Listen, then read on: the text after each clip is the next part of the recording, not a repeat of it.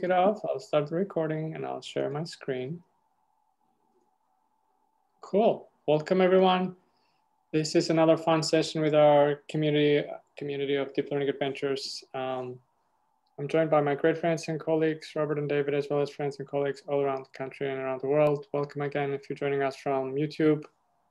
I hope you're enjoying the sessions. If you're on a different time zone, um, that's why the recordings are there. Hopefully you can join us in person or over Zoom sometime. Um, this is your first time with us, welcome. I want to make sure you feel welcomed. And if you've been with us multiple times, again, you're in for a treat. Today, this is, we're going to cover a session that I've unfortunately had to postpone multiple times, and you'll see today why. Um, I thought it would be a much simpler uh, problem to tackle, but it's actually a little bit complicated. So I'm glad that we're able to, we're able to make some progress and share what, what we had discovered with you, me and David. Um, if you're joining us from Meetup, again, you can find us under Deep Learning Adventures on Meetup. Um, we have some information here for you, or you can find us on Slack as well, as well as some other useful notebooks and things like that. All our sessions are recorded and posted on our YouTube page, and I'll post a link pretty soon here. As you can see, we've been pretty busy with uh, these Kaggle mini courses adventures where we cover things like introduction to machine learning, SQL, Python, uh, computer vision, some a new brand new course on feature engineering that Kaggle, the data science Kaggle team recently uh, released. It was a very good, interesting session. And um, today we'll cover the bonus lesson, bonus lesson on reinforcement learning. We won't be using any reinforcement learning today. We'll have to wait for that next next week, but uh, we'll see some simple strategies on, on how to do so. Cool. Um, let me post the links that I mentioned in the chat. Um, George, you probably have to increase your font a little yep, bit. Absolutely. Absolutely. Yep.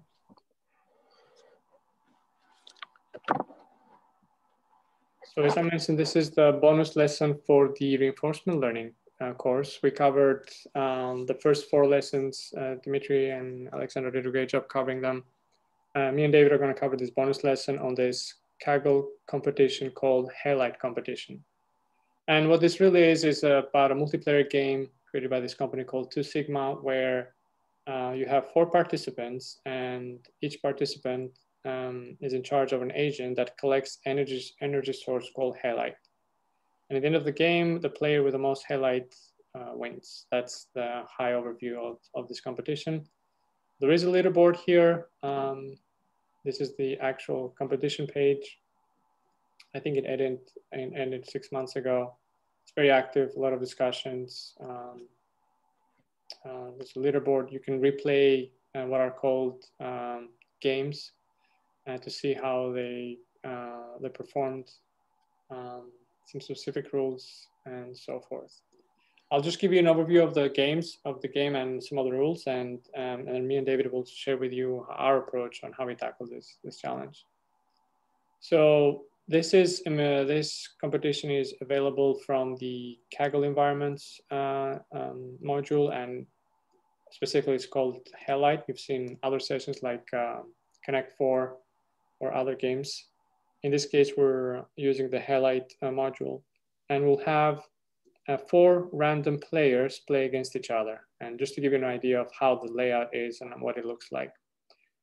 So we'll start with this, I think it's a 21 by 21 grid, and each cell has what is called this energy source halite. And the brighter it is, the more halite it has. Each player has a halite score, which is uh, the same for all of them. It's 5,000. Uh, you have multiple ships. In this case, I have one you can have as many ship shipyards as you want. In this case, I have zero. And each ship can contain on its cargo, I think, unlimited number of uh, amount of halite. So a ship travels the universe, goes to a halite source, and if it sits on a cell, I think it will collect 25% of the halite of that cell in one round. So the game is played in rounds, and you, you'll see here multiple rounds over time. And there are four players Something to notice so that the game is fair for everybody is the layout is symmetrical horizontally and vertically. So you see this mirror uh, of halite so that you are not disproportionately, you know, performing based on where you land. Um, so everybody basically has the same opportunity to access halite. So I'm just going to play it for a few uh, rounds for us just to get an idea of what it looks like. So the first thing that the ship does is it converts itself to a shipyard, and then a shipyard can spawn a ship based on different rules that you that you select.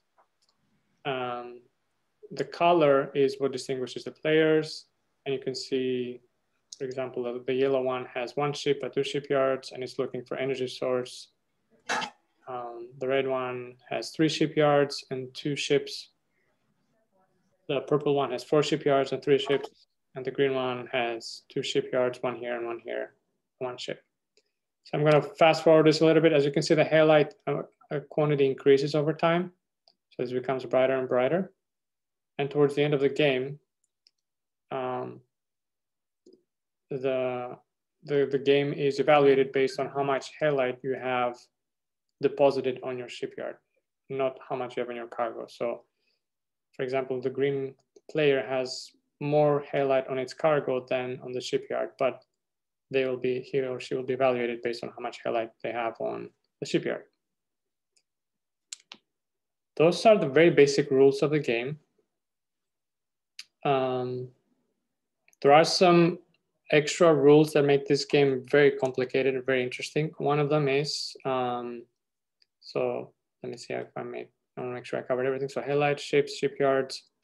One of them is called a collision. So um, that happens when two ships uh, happen to occupy the same cell or are headed towards the same cell, then there's a collision. And there's there's a way to resolve or how the game resolves that. Basically, the ship with the smallest amount of halite destroys the bigger ship and steals all its halite. It's that's that's the role of the game. Um, another type of collision is when an enemy shipyard attacks your ship. Uh, when an enemy ship attacks your shipyard, um, I think. Uh, let me remember. Yeah.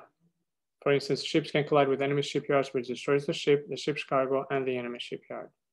But I don't think anybody benefits from that apart from losing uh, resources there is a cost associated with all these different actions. So for example, for us to mine halite, we gain 25% of the halite in cell. If, let me zoom a little bit more. If we attack a heavier cargo ship, we still, we destroy their ship and steal their halite. That's like a hunter strategy. Um, another one we can do is to convert a ship into a shipyard. It costs us 500 units of halite and we start with 5,000. Uh, once you have a shipyard, you can spawn as many ships as you want, but you have to pay 500 units of energy to do so. And when you deposit halite after you collect it, your score goes up by whatever amount you have in your cargo. Cool. I'm going to pause here for questions, comments, feedback, just to make sure that you understand the, the, the layout. Um, I wanted to point out um, once you deposit your your your halite at a shipyard, it's yours forever and can never be uh, taken from you unless you choose to, to create new shipyards or new uh, or sorry new spawn new ships then then it'll use some of your halite perfect i had i had one doubt uh, so what happens like if an enemy ship collides with my shipyard do i lose all the halite on the shipyard that i had stored no, that was that was the point I was trying to make. Is that okay. once you've deposited your halite, it's it's gone to the the different universe or whatever where no one can get to it. So okay, but but if it's still on the ship um, and my yeah. ship is destroyed by an enemy ship, then I lose it. Okay. That's right. Okay, cool. Thank you. you. Lose the shipyard, so you probably have to spawn another shipyard. Yeah. Yep. Yeah. So you lose the infrastructure, but the amount, the money is deposited in another bank account, I guess. That's the analogy I have in mind. Cool. Um, this, this notebook has a, sam a sample agent, and I'll just want to cover a little bit the structure because I build heavily on this uh, on this um, strategy and on this game. So first of all, the entire file needs to be writable, and you have this uh, uh, notebook command uh, that will be stored as submission.py. All the imports that you're using for your agent need to be included here. In this case, we're using this uh, halite helpers, every module from there. We have this method called get direction to. Let's say we're in one, one cell of the universe, and we want to go to another cell, uh, we need a way to navigate there. And we do this through this method of figuring out where we are from the left, east, north, southwest of the destination. And if so, we use something called an action space that we'll, we'll cover soon. But basically, based on where we are, if we want to go west, then we need to somehow direct our ship west. If our shipyard is north, we need somehow to direct our ship to go north. And this is the, the direction space that our ship can take, north, east, south, west, up, down, left, right. And the agent, when, when we play the game, starts with what is the size of our board, 21 by 21, what is the, the board state. Uh, we've seen this in other games as well. Basically, uh, what is the state of each cell, how many ships are there, how many shipyards, what is the configuration, how much halite is in each cell, and so forth. And the current player, which is our player. Then some simple logistics of how do we kickstart this game if we don't have any ships, if midot ships is zero, the length, or if we don't have any shipyards, then our next action would be to spawn a shipyard. That's the very first thing we're gonna do. And then if we, um, yeah, if we have a ship, but we don't have any shipyard, if we have a ship but no shipyard, we're going to convert the existing ship into a shipyard. And that's actually what happens in the beginning. We start with one ship, we convert it to a shipyard, then the shipyard spawns another ship. We end up with one ship and one shipyard. We can we can spawn as many ships or shipyards as we want. The only cost is 500 units of energy, so that's the only cost. Then this loop here does something for every ship in our fleet if we don't have a next action for our current ship, there are, this is the strategy of, the, of this basic bot. If we have less than 200 units of energy, we're gonna be in collect mode. We're gonna uh, uh, uh, advise our ship to collect more halite. If we have more than 500, we better deposit it, make sure that we, you know, we, we, we get those gains before either somebody attacks us or, or we lose the shipyard. And then how do we implement this? If it's collect, based on where the best cell is in terms of halite, we're gonna um, advise our ship to go there. So if there's more ship uh, north of me, I'll head north. If there's more ship south of me, I'll head south. And I'll return that as my next direction. And if it's deposit, we use that get direction to from our current ship position to our first shipyard. Um, let's navigate there so we can deposit the cargo. So we do that for every ship and um, and hopefully that will make our game a little bit more performing than our random agent. So in this case, we're running submission.py against three other agents and submission.py is the first agent, which is the yellow. The second one is the red, the third one is the green, the fourth one is the purple. let's see how this modification of looking for halite and after a threshold coming back home and submitting it, how does it do compared to a random strategy. So random strategy is already spawning multiple ships and shipyards. Ours only has one ship. I'm going to fast forward it a little bit. One ship, we're already at 5,000 units. The other ones are at 300 units. So you see this repetitive nature, like uh, you see that our ship is kind of gets stuck in this local optimum here between these two points and it just keeps oscillating between them. Um, then comes back and then finds another random path comes back. And then at the end of the game, we have about 7,000 uh, units of energy and the other ones have about 200, 400. So we can beat a random player. That's the end of the story here or the summary. And this notebook actually uh, motivates us to explore the more the complete game rules. There's more rules than this. Uh, it motivates us to look at the halite SDK, with which David will cover uh, soon. It also tells us to look at the notebooks that other players or agents have, have worked on on the competition page and uh, as well as take a look at the introduction to AI and reinforcement learning course that we covered that's a quick intro to this game. Um, I'll pause here again for comments, feedback, questions, and then I'll head and hand it over to David. Let me stop sharing and enable sharing.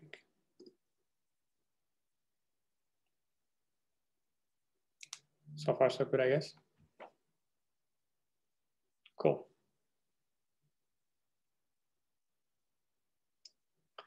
Cool. So David will cover for us the the SDK and how is this game structured and how can we utilize it. You're muted, David.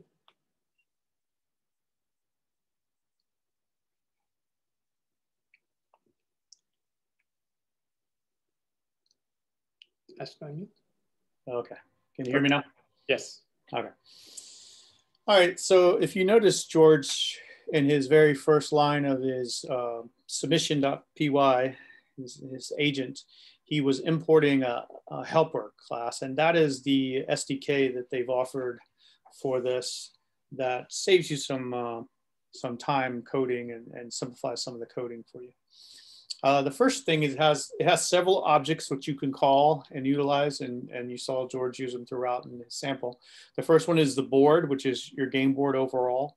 Um, within it, you can you can um, look at every cell within that board, all the ships, including your enemies and yours, all the shipyards, and then anything about the players, which there are four of. Um, you can get yourself you're the current player so you can instead of going through this dictionary to try to find yourself you can call this helper method this helper object and get yourself here you'll see how that might be used later on um, so those are some of the useful things you can do. I mentioned that every position on the board is called a cell. Um, you can get the xy coordinates for that position. You can determine how much halite is available in that cell. So if you're trying to decide maybe what is the optimal cell to go to to collect halite, you can look at that. Um, you can look at for every uh, ship that's on that cell, which would be one, of course, but you can look at that ship and figure out whose it is and how much halite it has and things like that. Uh, you can look at a shipyard. You can look at, you know, if there's no shipyard there, these things will be uh, set to none. So there'll be uh, nothing there. That'll give you a clue if there's a ship there. And then you can, uh, once you're on a cell, you can then look at the cell to the north, south, and east and west by, by these methods. So if you want to move to the next cell and examine it via that. Um, the ship object is useful for looking at your ship as well as other ships. Each ship, and I should mention that these all these all these uh, properties and objects are available at the end of the turn. So this is between turns when you're deciding what to do, where you would use these. Um, the ship object, you can look at how much halite's on the ship, where it is, um, the cell it's on, or, or just the actual XY position, uh, whose ship it is, the player that it belongs to. And if it's your ship, you can see the next action. So what are you're gonna do north, south, or whatever. And you can also set this variable. This is how you determine where your ships are gonna move to. Um, you also have a shipyard object. Again, you can see where it is with this position and the cell that's there. You can determine whose it is by the player, and you can set an action on it, such as spawn a new ship, would be a, an example. Um, remember I talked about getting a player, getting your yourself as the current player. The reason you might want to do that, you want to check how much halite you have. Uh, you have a, a, dictionary, which is got all of your next actions that all your ships and shipyards are going to uh, do. So if you need to go through those and examine them, you can get a list of all your ships. This, by the way, this Y in here is a typo. It's just ships. Um, and you can examine all your shipyards. So these are very, very useful. You'll see us do a for loop through our, our list of ships and a for loop through our list of shipyards to set what they're going to do and decide what our actions are going to be. I mentioned that every position on the board has a point object, which is these X and Y objects. And that is useful when you're trying to figure out directions and uh, positions, and we'll go through that. So these are the main objects and their associated methods that you can use. Um, there is a. Can I ask a question about the player method? Absolutely. Player class. Um, it was a little further down. Yeah, it's down. I'm getting uh, second to last one, I think. There we go. Uh, so we have access to all the player IDs is current player, but next actions do we we don't get to see what our opponents are doing. We only see what's yeah, we only see what's we're setting for ourselves. So if you pull, call this on your opponents, it's going to be uh, empty. Okay. Yeah. Um, so this is all coming from an actual GitHub repository where this helper Python is defined. So if you need to know more details, like the question Robert was asking, if you want to see how that's coded and everything, it's it's all available on this GitHub repository here. So I'm not gonna I'm not gonna go through the code itself. I just wanted to go over the, the SDK. Um, did you see that when I switched screens? I hope so, right? Yeah. Yep. Yeah. Okay. I'm gonna I'll put that in the uh, Awesome. I'll put that in the chat. So I'm going to turn it back to George, and he's going to show you his uh, top agent that he wrote. Pressure is on. All right. Um, thank you, David. That was super useful. So I'll share with you um, my two agents that I built for this purpose. And thanks, Robert, for sharing the, the link of my notebook. It's also on our, on our meetup page. Um, so my approach was here, let's, let me take the basic uh, agent that um, the Kaggle course had, and let's see, let's play it a few times. Let's see how it does. And let's see how can I improve it based on very basics uh, strategies, nothing using neural networks, nothing using deep reinforcement learning, some very basic, you know, uh, pro programmatic approach. That, that was that was my, my approach here. Cool. So in my notebook, I have some links here for the competition itself, and then um, I'm upgrading the Kaggle environments as well here, just to make sure I have the latest version the cheat sheet that David covered is super useful for me when I was uh, building uh, my agent. Make sure that um, I could calculate, you know, distance, no distance, but if there's a ship near me or a shipyard near me and things so forth. Um, I just use Seaborn for some visualizations, time, just to time how long something takes, pandas for building a report, and NumPy for, I think they're just a report building side. Um, in terms of episodes, the, the, the by default, I think the game will run for 400 episodes. For me, that was a too long of a time period to iterate and quickly develop my agent. So I just set it up to something uh, much smaller, like 10, 10 epochs or 10 episodes. And then my first strategy is what I call convert, spawn, collect, deposit. Um, and actually, I think this is the one that was already in the notebook. Let me see if I can did any change at all here. No, this is the one from the notebook. So I call this CSCD, the benchmark, just to get an idea of what is my benchmark. Again, this one, all it does is spawns, collects, comes back to the shipyard, deposits, and so forth. So I wanted to play this strategy against the random ones, just like in the notebook. And the, the yellow one for 10 epochs is is the one that's um, using the strategy. 10 epochs is not much you can see in 10 epochs, but I have other ones that run for longer. Um, you can, you can uh, from this end state, you can get the list of the results for every player. And this is how I'm building the report so that I can track over time how things are doing for, for different strategies and different players. Cool. Then the next thing would be instead of random, let's make everybody play the same, this basic strategy. And again, 10 epochs, there's not much, hap much happening. Um, but I want to cover my strategy here that, that, that I was able to come up with. Um, I was iterating a lot with different thresholds and different ideas and so forth. So in the end, I came up with maybe like an agent strategy dictionary of how do I want my, my agents to act. And I'll cover this uh, over here. Debug is for me just to print a bunch of statements to see what's going on in the game. By default, it's, it's false.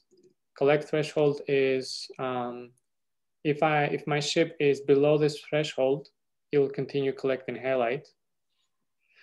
If my ship is below the deposit threshold, it will not deposit. Otherwise, the next action will be come back home and deposit. And I have something called invest threshold, which basically tells me if I'm above, above this threshold, start spawning more ships.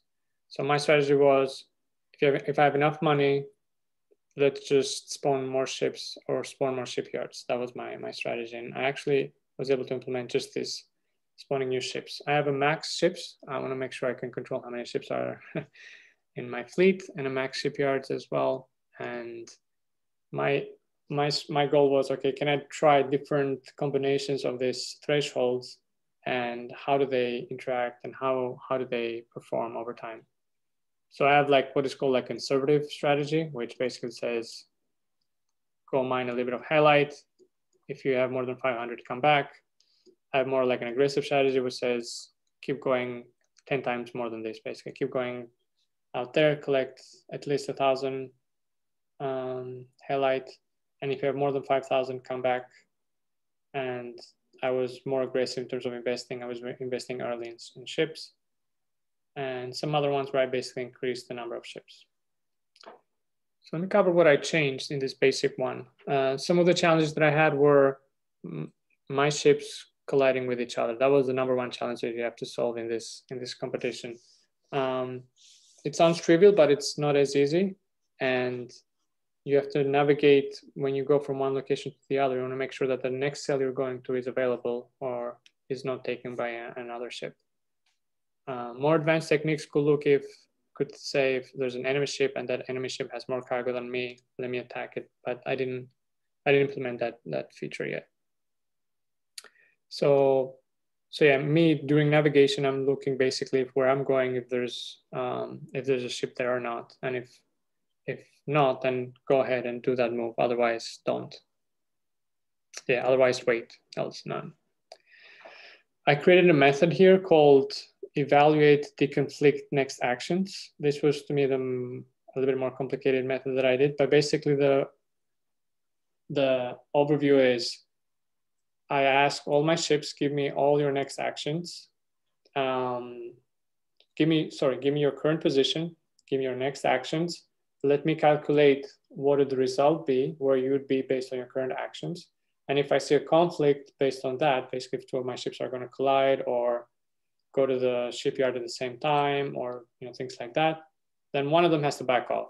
And I just based on order, um, I let the first ship do its its uh, its next step, but the second or the consequent ships will basically stay where they are. So this is how I was able to deconflict uh, my ships uh, colliding with each other. And um, I was using this dictionary of if you want to go north, east, southwest, or staying put. And um, again, yeah, me basically iterating over each ship and each action and trying to trying to calculate here the what would be the next position. And if if somehow I detected a collision, then um, I would make the current action as none. Otherwise, current action would be whatever uh, whatever my strategy decided. And the other things that I changed, let's see here, convert spawn, that was the same. Yeah, I changed all this to be threshold based. So if my ship has less than collect threshold, keep collecting. If my ship has more than deposit threshold, come back home to deposit. Um, if I have more than invest, then spawn a new ship. And yeah, this is just some avoid collision avoidance, I would say, code here. And yeah, that's it.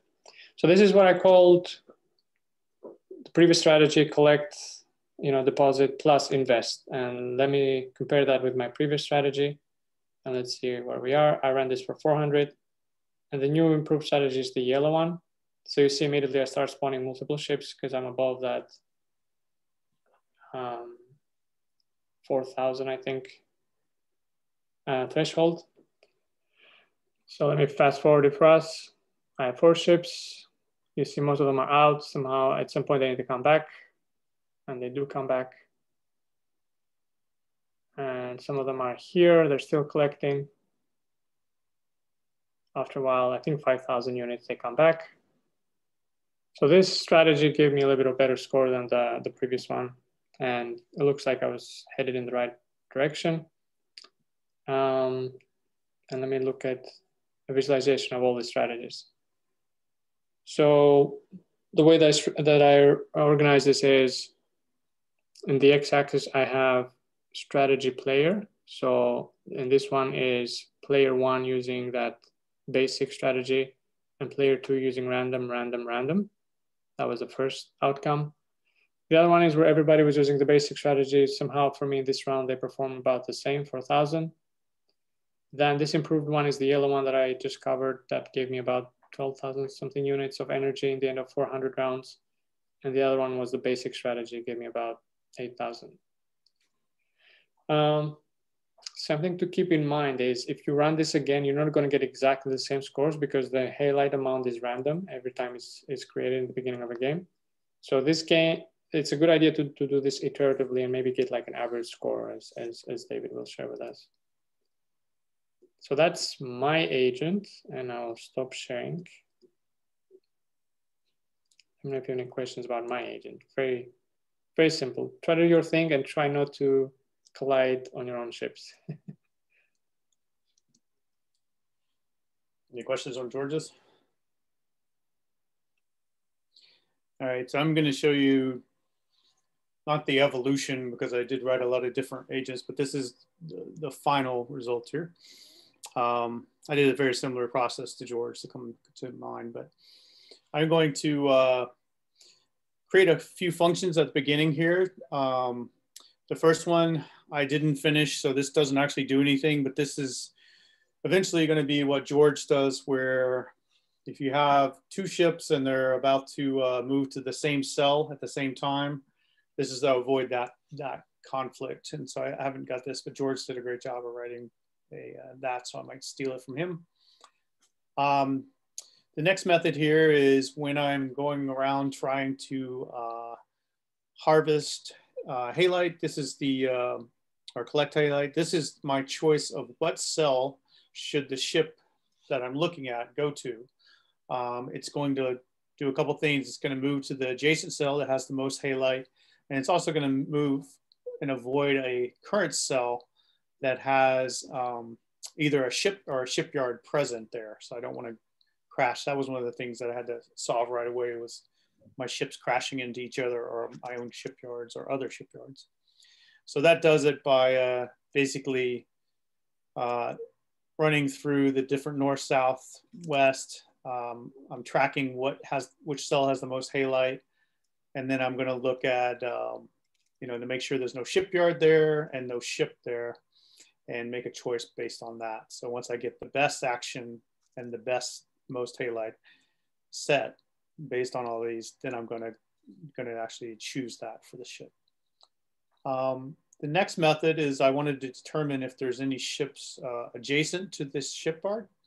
And the reason why I do that is when I want to spawn a new ship from a shipyard, I don't want to spawn it where there are other ships very close so uh, for a couple of reasons, in the beginning, I had a problem where the ships would collide with each other. So that was always a danger, never quite solved that. But the other thing is if there's already ships mining the halite in that area, I'd rather go to a different shipyard that doesn't have very many ships around it. So I'm kind of covering the board. In the best scenario, you would do some type of look at the complete board and all the halite and go to the area where the most cells have the most, or sorry, the most halite is concentrated in the cells around your shipyard. But it basically just looks um, to see if there's any, uh, you know, ships out there in north, south, east, west, and returns true or false based on that. I'll use that later on.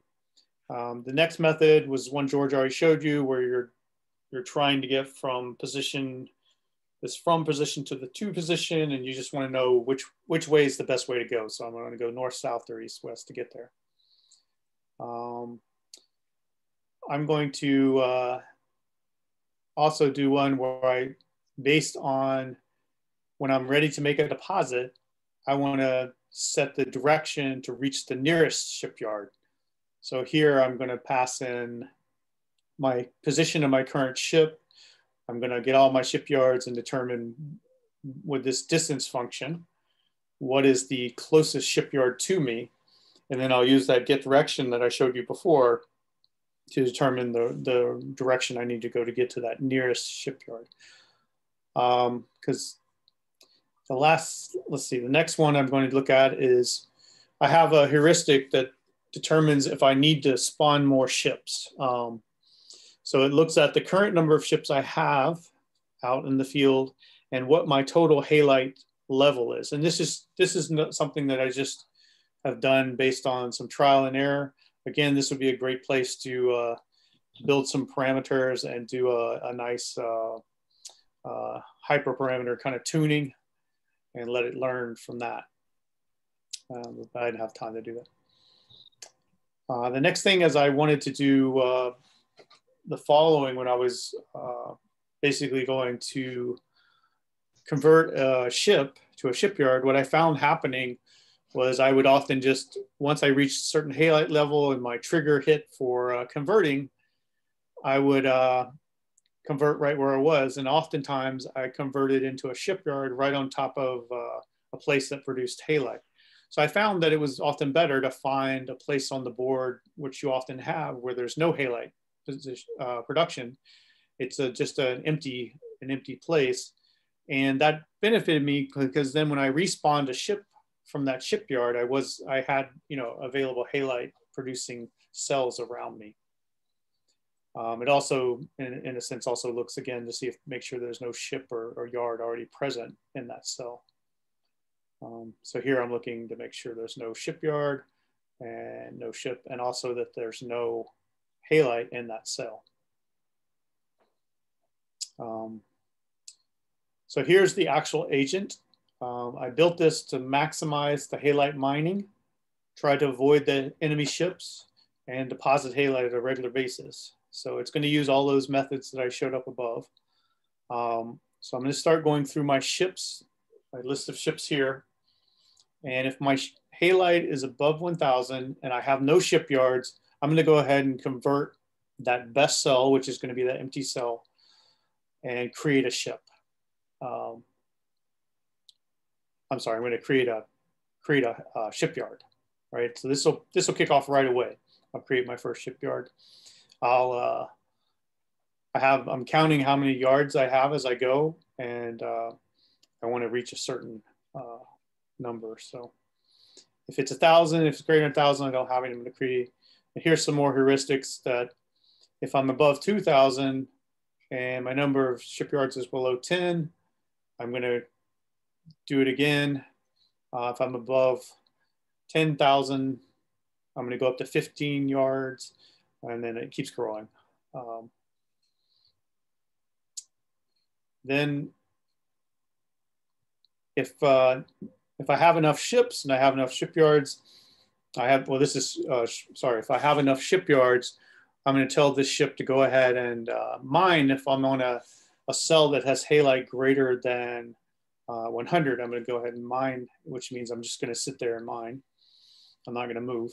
Otherwise, I'm going to move to the next best cell, which is the cell that has more, uh, the most halite. So, so that's what I do with each ship during each turn. Um, for the shipyards, I follow a, a different procedure. I'm going to go through those and um, I'm going to look and see if I have no ships set a variable. I'm going to look and see if I have the uh, calling that function above to see if I need to create more ships or if I'm already at my limit. And that'll be based on how many ships I have currently and my amount of halite. Um, and then I'm also going to look and see if I, I use that method above to uh, create uh, if there's any local ships around the, the shipyard when I'm creating a ship. So this, this comes into play when I need to spawn, if, I, if this need more is true and I need to spawn a ship, I'll, I'll make sure there's no ships already in the vicinity of this shipyard. So the first thing I'm gonna look, if I have no ships, then I'm gonna create a, a shipyard. Um, if I have, if I need more ships I'm, and there's no uh, local ship in the vicinity, I'm gonna create one else I'm just going to do nothing. So that's the last thing I'll do. Um, I wanted at this point, I wanted to have it check the conflicts to make sure none of my ships were going to collide with each other. Uh, this is not implemented, it's just a placeholder. And I'll return all the actions. So that is my agent. And we have George's agent. George, do you want to go through? Uh, question before we go to mine? Yeah, uh, if there's any questions on mine when you had more than 100 and next action equal none, do you have another rule that says come back home? Do you have like a deposit rule, or when are ships coming back home for deposit? Ah, good question. So on my ships, that's not it. Sorry. Um, so I've got a, if you notice in each of these cases, it's going to go uh, convert best ship. So if it, let's take like this last case, right? So, oh, I see. If you're in between. If I'm in between, yeah, I'm going to go move to the nearest shipyard, right? So that's my scenario. Got it. I like that. So you have yeah. like milestones. If you reach those milestones, invest. Otherwise, yeah. Come back home. Yeah. If none of these other conditions is met, right, then I'm going to just drop and go deposit. Got it. But that's only if my ship is, you know, above 2,000. So that was my my limit there. Mm. Interesting. Right. Could I ask a, a quick question? Yes. Um, when you had um, you had a math dot H Y P O T, I believe, and I just wasn't sure what that was. Do you think you could just explain that really quick? It was up. It was up a few. It was what? It was like H Y P O T. Oh, oh, for the calculating the distance. Oh, there it is. Yeah, I just was confused what uh, how that worked, or if you could just explain it quickly. Thank yeah, you. Yeah, it's the it's the hypotenuse of the. So this is just a way when you calculate distance, it's just distracting, you know, the the yard position, the ship positions and it's giving me the the distance between them. Um, oh, I see now. Are you just doing? It's a distance formula with the difference between the positions. Yeah. With the y's and the x's, that actually makes sense now. Like yeah. So Euclidean distance, yeah. like the x diff and the y diff, and then you take that hypotenuse, and that'll give you your distance. And then I was comparing that to figure out uh, which one is the minimum distance. I'll re- I reset it if it's less than my. Once I have that, then I know where to go, um, which ship, which ship, and which where's the nearest shipyard that I want to go to. So the nearest is sent to that yard. Thank you. No problem. I had a question. What was the benefit versus of creating a new shipyard versus depositing at an existing one? I mean, do you want a minimum number of shipyards? Or is there a maximum, or how does that work? So the, the difference was that if you, um, you know, if you already have a lot of shipyards, um, your ship, if, it, if you want to convert it to a shipyard, which will automatically deposit what you have left, there's a cost of 500 mm-hmm. to convert a ship to a shipyard. So you'll lose $500, uh, 500 points versus going uh, to a shipyard. There's probably a heuristic that we could put in for winning. When so it it's, it's more a matter of distance. So, so idea, you could have one shipyard, but if you have to go a long ways to get back to it and then get out to a place to mine halite, that would be a cost. That would be a reason why you might just create a new shipyard. Yeah, and then of course it's it hits you twice when you when you take a ship and you convert it to a shipyard, you lose 500 then, mm-hmm. and you deposit whatever you have that's over 500, so you get to keep that part. But then you've lost a ship, so if you want to have a minimum number of ships out there, which you really need to have to be harvesting, mm-hmm. you now have to spend another $500 to create the new ship. So it's mm-hmm. a it's a thousand point loss. Okay. If that makes sense. But there probably is there probably is times when you're way on the other side of the board that it might be a good uh, heuristic to use. So. And often, as you saw during some of the, the simulations, uh, an enemy will collide with your shipyard and you lose some of your shipyards. So you do want to create new ones when you're when you're down. Right. In fact, you couldn't lose a shipyard. Oh, you can. If if if the enemy collides with your shipyard, the ship is gone. They lose their cargo, and the shipyard is also destroyed. You don't lose your points. Your halite is deposited. It's it's good to go, but you lose your shipyard. I see. Yeah. Wait. So if if someone collides with your shipyard, both their ship and your shipyard and the shipyard is destroyed. Yes. And then where does the halite that was on their ship go? It's gone it's gone. Nobody gets it. That's my understanding. Is that is that your understanding, George? It looked like it said it was lost. Yeah.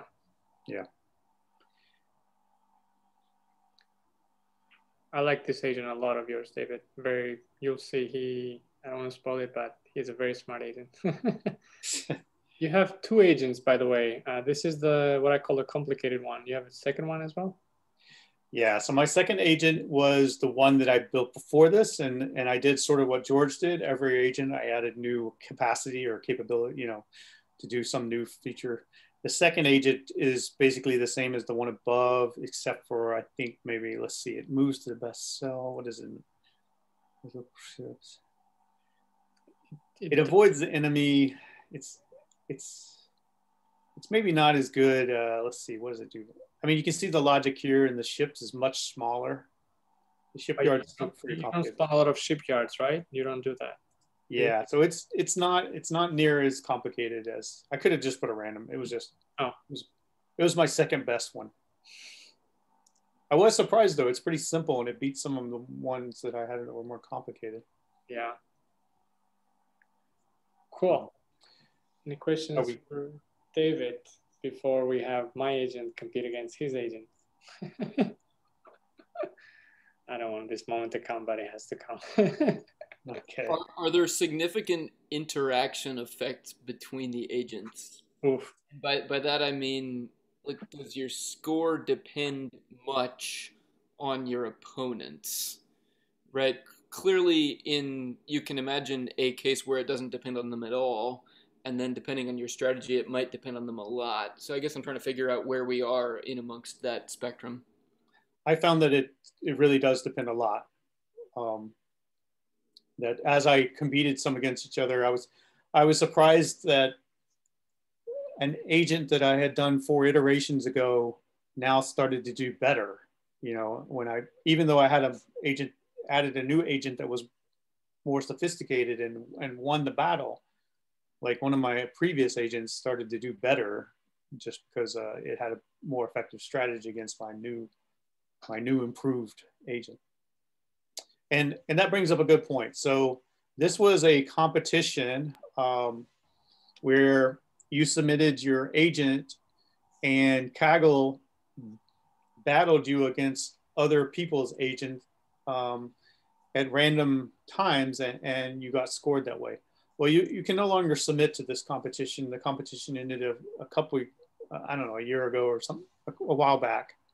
So we tried, George and I tried to simulate this by playing against each other.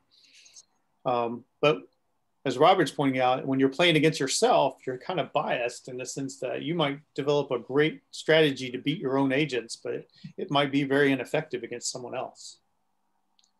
So I just wanted to show, um, we wanted to uh, check the the performance of our agents against each other. And so here's a little method we wrote. Um, it brings in a, a, a list of agents and we're going to track the scores for these for a number of rounds. And each round is those 400 steps that we saw in the simulation, the, the graphic simulation. Um, we're going to append those scores that we get from each round and do an average of them. And George added some start here where he's printing it out as we as we go so you can see it. But then we'll plot we'll plot that uh, at the end. Yeah, it's, it's a pretty nice little visualization. So so that's one thing we added. And then down here, pretty far down, let's see, there's my second. There's George's where we copied in his. Hold on, can I can I yes. mention quickly about mine? Um, if you uh -huh. scroll up a little bit, or if you don't if you don't mind stop sharing, I can share. Absolutely. Thank you. Sorry. So yeah, so for me, that was David one and David two. That that that was his agent, and David one was the complicated one. David two was uh, the less complicated one, but nonetheless pretty well performing. For me, agent one, I experimented with a few. Uh, I found this hyperparameters uh, to perform a little bit better for me again. If you have less than a thousand, keep collecting. If you have more than five thousand, come back home and deposit. And if you have more than 2,000, just spawn ships, no shipyards. That was George 1 and avoiding all the collisions so forth. George 2 was a little bit, I think the only thing I changed was number of ships, be a little bit more aggressive and maybe be a little bit more conservative when to invest. Uh, that was the only change. That was George 2.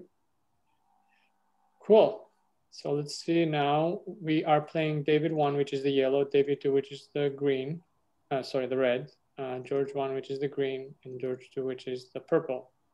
against each other. So you'll see that David right away, let me zoom a little bit more, will start spawning. who's which color? I'm yellow upper, and red. Upper one is David, lower one is me. So yellow and red is David, green and purple is me. Um, so far we still have one shipyard. I think some of our criteria is not met yet. Um, oh, the red one spawned a new one for you, David. Yellow one spawned. So the, oh, the, yep, the yellow one has four shipyards. Whoa, look at this. So this is like what I call like a exponential rise phenomenon where like David is basically colonizing Mars here. I only have two shipyards laying back here, but I have a lot of halite, but he has basically more, more potential. yeah. We probably should have randomized somehow our starting position on the board too. I don't know if it would have made any difference. Your strategy is very, very smart. Okay, I'm gonna forward a little bit faster. Do you get to choose your starting position?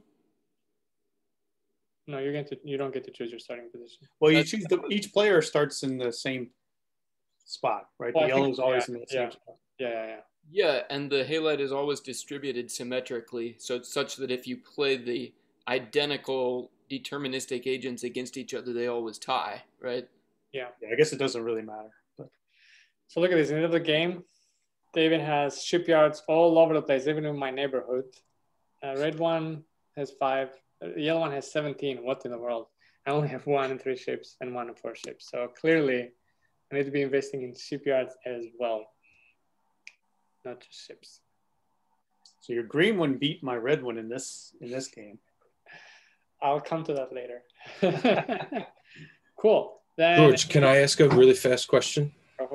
Uh, it, it looked like the more the yellow, uh, you know, propagated, the more it, it seemed like it was building on its success. Is that accurate? And if so, would there be any kind of like, I don't know, first mover advantage or something? And like, could like a, a not not as strong of a model like beat the other one because it gets there first, kind of thing? Or or is that a misunderstanding of like the way?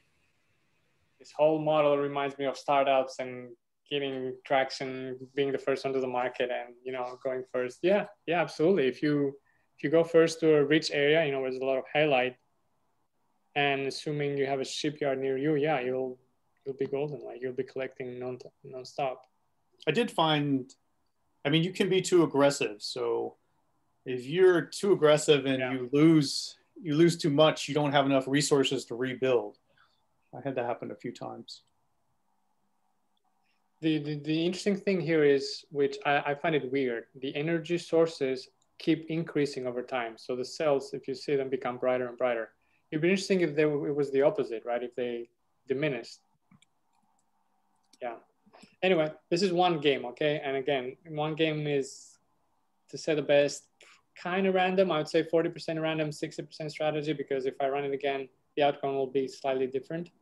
But we wanted to run it multiple times and I ran our agents three times.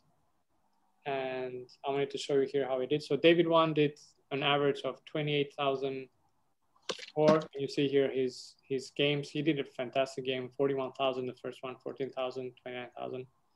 His second one did on average 8,000. Mine did on average 4,000. And my second one, which is the complicated one, did 11,000. Um, then another one uh, 12,000, 7,000, 4,000, 14,000. To get these numbers, there's a little bit of selection bias. I had to run this cell multiple times. Okay, on average, David was outperforming me out of the bat. I have to say that, and you'll see it in the in the charts. Um, then I added the charts here, so you can see uh, David one is blue, David two is orange, and I am red and uh, and green. So this is just three rounds uh, five rounds. Let's look at five rounds. So you have a fantastic round, the first one, decent, decent, then fantastic one. But the average is like completely different scale. Like you, your the first one, David, yours is like 20k, 10k. Mine is like 1k, 8k. So it's like two or three times better performing. Okay, let's do it for 10 rounds. clearly you, you can see like the longer we played, your first agent has like some kind of, not some kind, it has a shipyard and ship advantage or superiority. If you look at this, it's a different scale altogether. We have a, uh, there's a good question in the chat. I don't I assume that you haven't. Okay. Go for it. Ask it. Uh, do you think that Kaggle might turn the Halite competition into a playground at any point? It'd be nice to be able to submit and actually go against a broad spectrum of other agents. I I agree. I think if they did a um, one of the some of the playgrounds have a they restart every month. Yeah. And that would be nice to have this run for a month. I mean, they couldn't run it forever because eventually, how many how many agents can they run at once? But mm-hmm. yeah, if they ran like a monthly competition with it, where they reset it and started again, that would be very interesting. Yeah, yeah, I haven't heard anything of converting this to a an open playground where you. what they do have is a very similar type of game ongoing right now, a competition which we'll hear about next week, I think. Yep, yep. But coming back here again, like your agents, David, outperform mine like out of the bat, and you can see it only just by looking at one game how well they perform. So uh, on average as well, like it was like two or three times better performing than, than mine. So kudos. Um, going back to the competition, I want to share with you just a sample play from, I think this is a top 50 player of how the game looks like. Let me zoom out a little bit for us. So I think, let's see. Um, so these are four different players. Um, yep, playing against each other. So you get to see how some of the different strategies. Look at this. Some of them are one shipyard, multiple ships, like I was going, and many of them I think are, I don't know. I wow, keep track, thirteen ships in one shipyard. Thirteen, yeah. But I think the strategy, I think it's less about mining and more about attacking. I think. huh. I don't know what's going on here. you see the halite is is pretty low. Definitely, they're definitely taking care of the halite. Yeah, they're definitely taking the halite. They're investing heavily in ships. Um, so let's see. Interesting. So I saw Red get one of its uh, shipyards wiped out and immediately created a new one. So it seems to always create one. Yeah, uh, that's interesting. The other ones seem to be running two. Yep. 6 2, so 9 1, 19 1, 6 2, 11. Red is way ahead. Oh, a lot of collisions here. Uh, you're right. There's there's hardly a time where a measurable amount of halite ever grows on any cell. Because there's what 40, 50, 50. it's interesting too. Like if you look at like the purple and some of those, they stay very close to their shipyard. Mm. See, it's like they they work as a group. Yeah, yeah. There's algorithms. There's like swarm optimization algorithms, and I wonder if that's some of what these agents are doing. Oh yeah. So that was the 50th play. Let me look at the first play here and look at how that looks like. All right. Zoom in a little bit.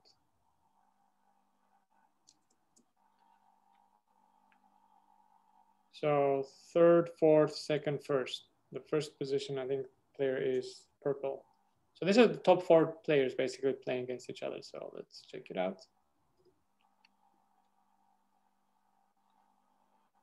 Oh, what is going on? Okay, 91917282. Need like a commentator here of what's going on. um, okay, the purple one has more ships, 14. Ah, red one, 15. Purple one, 18. Yellow one, 15.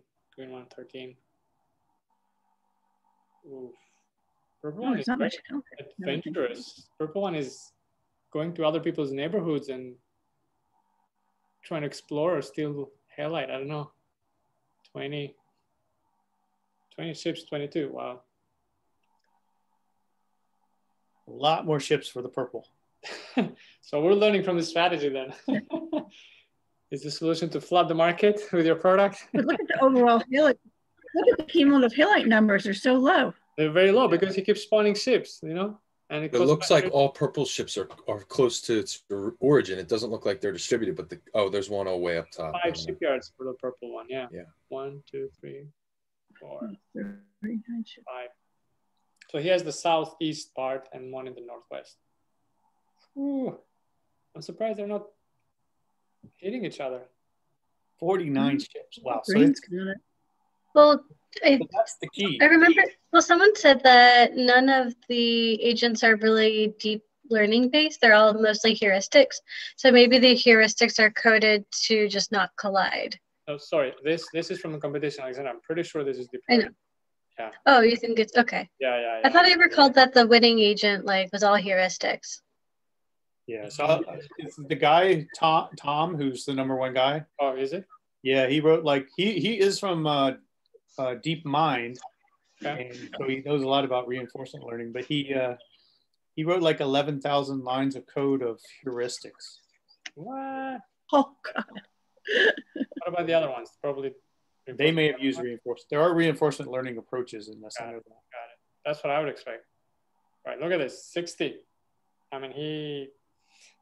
Wow. He dominated the, the, the planet here. But I'm surprised you're not colliding. Oh, okay, they're colliding. 57. He lost three. He lost 54, 52. He's losing. What's going on? Wow, his points are high though. 50. Is it like a threshold or something? He's ahead, so he's taking out everybody else's ships. Whoa, whoa. everybody, period. The red player is gone. What happened to the red player? I was about to say, what happened to the red player? I think if you don't, I 17. think you get taken out of the game entirely. Yeah, right? by 18, 17. No, the red player we need a chart of number of ships and shipyards over time here to see. 17. At some point, he just drops out of the game. What's going on? Let's see. 15, 14, 11, 10, 8, 7. Yeah, the purple one basically surrounded him, right? So purple one is basically attacking him. Yeah. Yep. Oof, look at that corner. look at that cornering here. Poor poor red one had nowhere to go. He's like, nope, I'm capturing that part of the market. This is insane. All right. Cool. Oh wow! In the end, it was just this turn against each other. Is that what happened? Oh, the green one has two, yellow one has five, purple has 22 out of 60. Wow! So it was battle in the end. I hope this taught us a lesson to make peace with each other and share what we have. this was crazy. Cool. I like this competition a lot. It's just super challenging just to have a decent running agent. That's that was my challenge. cool friends. Any questions about the competition or our agents? I'm assuming that like uh, these notebooks are not public. Like the leader, the first guy's notebook. Can we see it? Uh, not the first guide, but maybe like the hundredth guy or something you can see. And there's also a code uh, section where you can see other people's code. Yeah. Actually, I think the, the first guy may have put his on GitHub. I can, I, oh, he did? He, so he was required to do a write-up. So in the, um, on the competition page where they have the discussion, mm-hmm. see him as one of the top in the discussion. And I believe he has a, okay. If I remember right, he does have a GitHub. This is the 200th guy and I, don't, I don't know. I don't want to delve into this, but um, yeah, it looks like heuristics to me. Avoidance matrix, attack matrix, halite, convert. Okay. So you're saying, um, is it a discussion or code maybe? First way winning solution, okay. So yeah, this is something that hopefully uh, Dimitri can cover for us next week. Uh, he'll, he'll go over some of the leaderboard on some of the example notebooks and maybe share some notes with us. Um, we wanted to take a deeper dive um, on the on this competition. And speaking of next week, Alexander will cover will cover for us uh, this other competition called Hungry Geese, where this game is similar to Snake game, where you have a grid, you're trying to navigate your agent into a food source, I'm not fully familiar with the rules, so I'm looking forward to that as well next week. Cool. Again, this session is recorded, friends, and it will be posted on our YouTube page. Um, that's all we had for you. Any questions, feedback, comments? I, I had one question, like not related to this example, but like in general. So like like I have taken courses in university. Like I'm still I'm graduating this quarter, so like I've taken courses on on data science. But like I was wondering if you have some tips on how to organize uh, data science projects more, uh, uh, like to make them more uh, clean and to have a more systematic approach at structuring data science projects. So if you have some tips or some links to that I can go through. So that would be great. Yeah, yeah. Uh, actually, a great discussion with the Kaggle team um, right here. We recorded it. And they also emphasized on the importance of having a very good uh, presence on GitHub or, or Kaggle notebooks, making sure you have a, a well-structured README file, and basically tackling, tackling, find an interesting data set or tackling the problem that you find interesting, you know. Uh, so there's a lot of data sets in other Kaggle data sets. Um, or other public data sources. Um, yeah, basically having a strong portfolio really makes you stand out when you're look, either looking for a new role or you're looking for uh, to show off your skills. Um, it really helps. Rachel, Rachel, Rachel uh, on that link, um, or sorry, on that on that talk, she gave a link to another talk and uh, discussion to that. She, she does a really good job going through that. I'm posting just a direct link to that here. Thank you so much. It sounds, it sounds like your question also went to like, mm, like say you start a new project, how to structure it, right? Yeah, yeah, yeah. Okay, so I think this is worth like maybe a deeper dive or like the specific resource to like show some examples. But one format that I've seen um, is to say like organize like the project into different folders. So like put your data in one folder, you put like maybe like some utility functions in another folder, and then you have like a folder of notebooks um, that show off, say, um, the analysis itself. And then maybe you have a folder for like models that you save. I will say one thing that's pretty important if you say put your project on GitHub is one thing that I'll look at when I look at somebody's GitHub page is just the cleanliness of code. So like, is it easy to read? Like, uh, the code is very straightforward. It's well commented. Um, general coding practices um, definitely stand out. If the code is messy, like I guess poor like poor grammar in the comments, like not like small mistakes. I mean like like consistent mistakes, then that'll stand out as well. Thank you so much. Bye, friends. Uh, then in terms of upcoming sessions, again, next week, David, uh, sorry, Dimitri and Alexander will cover for us some more advanced strategies for the halite game, as well as this new simulation called Hungry Geese. Check it out, that's next week. After that, we're gonna do a combination of happy hour plus one notebook. We haven't done that before. This notebook is about this vaccine tracker that Kaggle released recently as a bonus course on the geospatial uh, mini course. So that is coming up as well. Um, then after that, there was a session recently on end of Feb on TensorFlow. It's called TensorFlow Everywhere. Um, we're highly encouraged to check it out. There's two videos, uh, uh, four hours each. They're a bit long, but basically they cover new features in uh, TensorFlow, um, some production best practices uh, on how do you develop, how do you deploy your models on maybe on, on JavaScript or, or edge devices and things like that. So a lot of interesting events going on here. I highly encourage you to check it out and uh, watch the recordings. A lot of great speakers, including Laurence, which we had the pleasure to interview last year. Um, so check out both events and then we'll, we'll do a summary when we come back here of, you know, what did we think of each topic, what did we find interesting and share notes and comments among us.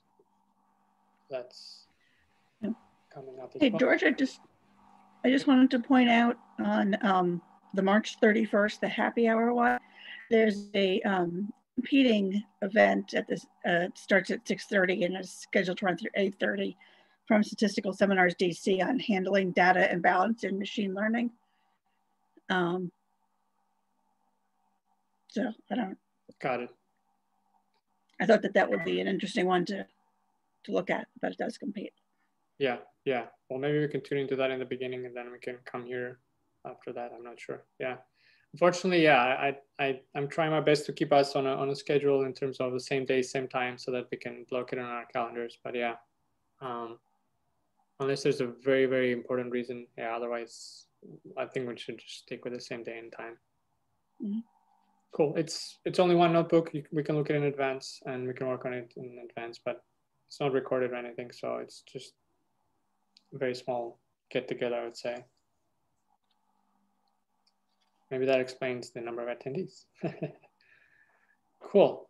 Uh, last thing, uh, unrelated to tech, I just wanted to pitch in a new community that I started, friends. This related to like fitness, photography. If you, if that is of interest to you, check it out. I'll post it on the chat. Uh, I'll do some events uh, online, but many of them events will be in person. Um, uh, if this is something of interest to you, check it out. That's the last plugin I'll do.